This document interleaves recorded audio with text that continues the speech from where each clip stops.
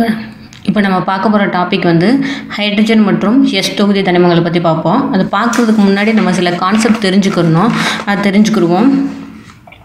இப்போ பார்த்தீங்கன்னா தனிம ஆவர்த்தன அட்டவணையில் இடப்பக்கத்துலேருந்து வலப்பக்கமாக போகும்பொழுது குருவளவு வந்து குறைஞ்சிக்கிட்டே போகும்.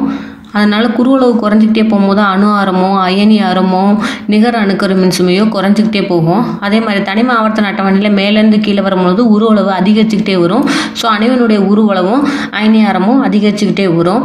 இது ஒரு முக்கியமாக தெரிஞ்சுக்க வேண்டிய விஷயம். அதுக்கடுத்து பார்த்தீங்க அப்படின்னா உருவளவுக்கு எது எது நேர்த்தகவல் இருக்கும் அப்படின்னா வெப்பநிலை நிலைப்புத்தன்மை அயனி நகர்றது இதெல்லாம் வந்து நேர்த்தகவல் இருக்கும். அப்படின்னா உருவளவு அதிகரிச்சிச்சு அப்படின்னா வெப்பநிலை நிலைப்புத்தன்மையும் அயனிகள் நகர்றதும் வந்து அதிகரிச்சுக்கிட்டே இருக்கும்.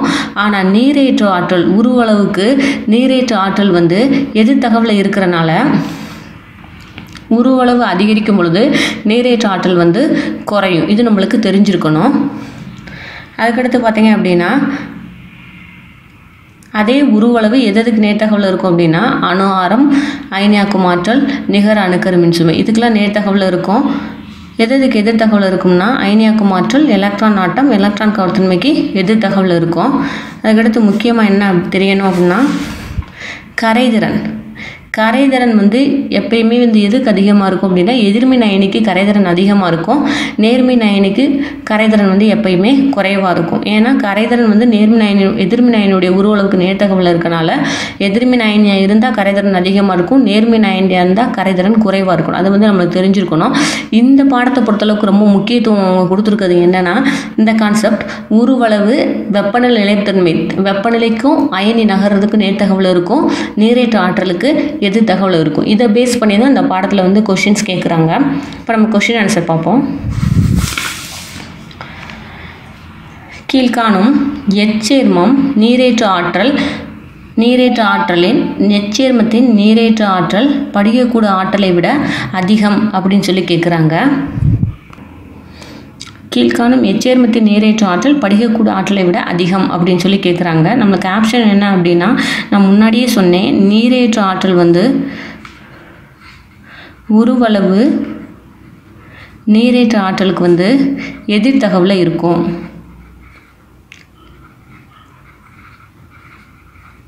நீரேற்ற ஆற்றலுக்கு உருவளவு எதிர் தகவல் இருக்கும். அப்படின்னா இப்போ நம்மளுக்கு கொடுத்துருக்கிறது வந்து பார்த்திங்க அப்படின்னா காரமுன் உலோகம் இதில் பேரியம் மெக்னீஷியம் ரேடியம் ஸ்டான்சியம் கொடுத்துருக்காங்க. காரமண் உலோகங்களை பொறுத்தளவுக்கு மொதல் வந்து மெக்னீஷியம் வரும். Beryllium magnesium then calcium strontium barium radium. இதான் வந்து காரமண் உலோகங்கள். கார்மன் உலோகங்களுடைய வரிசை. மொதல் பல்லியம் வரும். நம்மளுக்கு இங்கே கொடுத்துருக்கிறது வந்து மெக்னீஷியம் கொடுத்துருக்காங்க. மெக்னீஷியம் சல்ஃபேட் கொடுத்துருக்காங்க. அதுக்கடுத்து பார்த்தீங்கன்னா ஸ்ட்ரான்சியம் சல்ஃபேட் கொடுத்துருக்காங்க. பேரியம் சல்ஃபேட் கொடுத்துருக்காங்க. ரேடியம் சல்ஃபேட் கொடுத்துருக்காங்க. இந்த நாலும் கொடுத்துருக்காங்க. அதாவது அவங்க இன்டைரக்டாக என்ன கேட்டிருக்காங்கன்னா நீரேற்று ஆற்றல் எதுக்கு அதிகம் அப்படின்னு சொல்லி கேட்டிருக்காங்க. எந்த தனிமத்துக்கு நீரேற்றும் ஆற்றல் அதிகம் அப்படின்னு சொல்லி கேட்டிருக்காங்க. நான் முன்னாடியே சொன்னேன் உருவளவு அதாவது இந்த கான்செப்ட் பிரகாரம் பார்க்கும்பொழுது உருவளவு எதற்கு குறைவாக இருக்கோ அதுக்கு தான் நீற்றேற்றும் ஆற்றலுடைய மதிப்பு வந்து அதிகமாக இருக்கும். இங்கே பார்க்கும்பொழுது தொகுதியில் மேலேருந்து கீழே வரும்பொழுது உருவளவு வந்து அதிகரிச்சுக்கிட்டே வரும். அப்போ இந்த நாலு தனிமங்களில் உருவளவு எதுக்கு கம்மி அப்படின்னா மெக்னீஷியத்துக்கு தான் வந்து உருவளவு ரொம்ப குறைவு.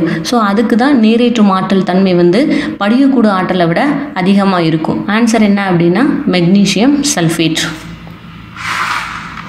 அடுத்து ஒன்வோடு பார்ப்போம்.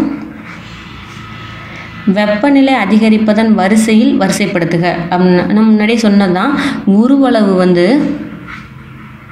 உருவளவு வெப்பநிலைக்காகட்டும் வெப்பநிலை நிலைப்புத்தன்மைக்காகட்டும் எல்லாத்துக்குமே வந்து நேர் தகவல் இருக்கும்.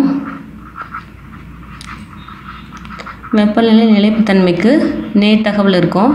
இங்கே நம்மளுக்கு கொடுத்துருக்கத கொடுத்துருக்கிறது பார்த்திங்கன்னா beryllium beryllium carbonate magnesium carbonate இப்போ beryllium carbonate potassium carbonate calcium carbonate அதாவது அந்த முன்னாடி இருக்கக்கூடிய அணுக்களை மட்டும் நான் எழுதிக்கிறேன். பெர்லியம் மெக்னீஷியம் கால்சியம் கொடுத்துருக்காங்க.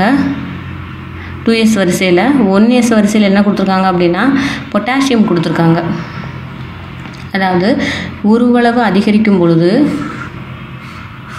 வெப்பநிலை வந்து அதிகரிக்கும் அப்படின்னு சொல்லி சொல்கிறாங்க இப்போ தனிம ஆவர்த்தன அட்டவணையில் மேலேருந்து கீழே வரும்பொழுது உருவளவு அதிகரிக்கும். இங்கேருந்து அதே மாதிரி இடப்பக்கத்துலேருந்து வலப்பக்கமாக போகும்பொழுது உருவளவு குறையும். அந்த மாதிரி பார்க்கும் பொழுது மொதல் உருவளவு யாருக்கு அதிகமாக இருக்கும்னா பொட்டாசியத்துக்கு தான் அதிகமாக இருக்கும். ஸோ பொட்டாசியம் கார்பனேட் தான் வந்து அதிக வெப்பநிலை உடையதாக இருக்கும். அதுக்கடுத்து பார்த்தீங்க அப்படின்னா டூ எஸ் டூ தினத்தில் மேலேருந்து கீழே வரும்பொழுது உருவளவு அதிகரிக்கும். அப்போ கால்சியம் கால்சியத்துக்கு தான் கால்சியம் கார்பனேட்டுக்கு தான் வந்து வெப்பநிலை அதிகமாக இருக்கும். அதுக்கடுத்து யாருக்கு இருக்கும் அப்படின்னா மெக்னீஷியம் கார்பனேட்டுக்கு இருக்கும். அதுக்கடுத்து யாருக்கு இருக்கும் அப்படின்னா பெல்லியம் கார்பனேட்டுக்கு இருக்கும். இதுதான் அதனுடைய வரிசை. இப்போ பார்த்தீங்க அப்படின்னா நாங்கள் லெஸ் தென் கொடுத்துருக்கனால நம்ம என்ன செய்யணும் அப்படின்னா ரிவர்ஸ்லேருந்து எழுதிக்கிறணும். அதாவது மொதல் இருக்கிறத லாஸ்ட்டில் எழுதி potassium carbonate calcium carbonate magnesium carbonate beryllium carbonate இப்படி எழுதிட்டு ஆரோ மார்க்கை லெஸ் தென் ஆரோ மார்க்கை போடணும். இந்த ஆப்ஷன் எங்கே இருக்குன்னு பாருங்கள் அதுதான் வந்து ஆன்சர் பொட்டாசியம் கார்பனேட் அடுத்து கால்சியம் கார்பனேட் கால்சியம் கார்பனேட் அடுத்து மெக்னீஷியம் கார்பனேட் ஸோ ஆப்ஷன் வந்து பி த ஆன்சர் தென் அடுத்த கொஷின் பார்ப்போம் நம்ம. அயனிகள் நகர்வதன் அடிப்படையில் வரிசைப்படுத்துக அப்படின்னு சொல்லி கொடுத்துருக்காங்க. நான் சொன்ன அதே விஷயந்தான் இந்த விஷயத்தை அடிக்கடி ஞாபகம் வச்சுக்கணும். உருவளவு வந்து வெப்பநிலைக்கும் அயனிகள் நகர்தலுக்கும் நேர்த்தகவில் இருக்கும். நீரேற்ற ஆற்றலுக்கு மட்டும் எதிர்த்தகவில் இருக்கும். அயனிகள் நகர்தல்.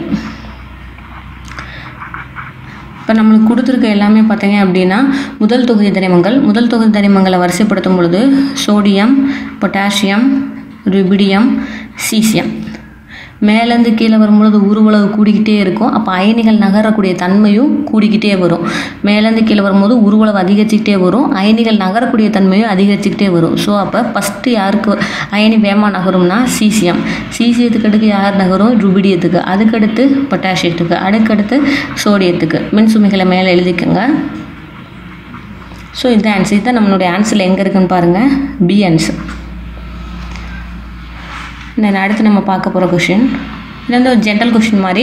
தசைகள் சுருங்கி விரிவதற்கு பயன்படும் தனிமம் என்ன அப்படின்னு சொல்லி கேட்டிருக்காங்க. நம்ம எலும்புகள் அதிகமாக இருக்கக்கூடிய இது வந்து கால்சியம் தான். அதே கால்சியம் தான் வந்து தசைகள் சுருங்கி விரிகிறதுக்கும் பயன்படுது. ஸோ ஆன்சர் வந்து டி